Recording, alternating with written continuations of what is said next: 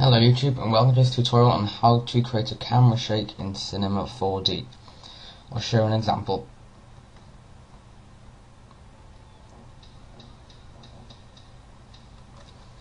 See how the text is shaking around? All that is done in Cinema 4D. So let's get going. First off, go into Cinema 4D and create some text. Shake.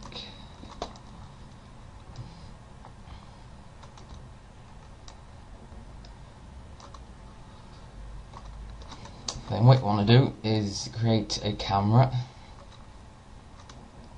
and then click this little box beside the camera to make it go white.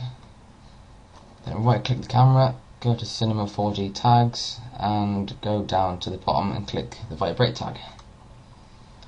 Then with the vibrate tag selected, next to enable position check the box there and change the ampli amplitude boxes to 20 all of them. And then go to frequency and type in 1.3 and if we click play now you can see that the camera is shaking. Thanks for watching. I hope, to, I hope this helped. Goodbye